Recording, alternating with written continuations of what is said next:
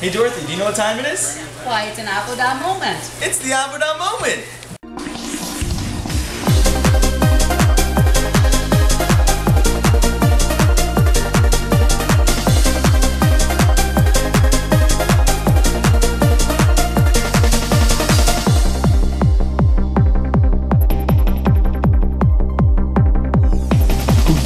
beinu besaira sai vi yasin deli beinu a ha sai vi sai the sai nai uli of shalom Josh Dwelling sent us to A&W this week for our hard work over Visitors Day. Thanks, Josh.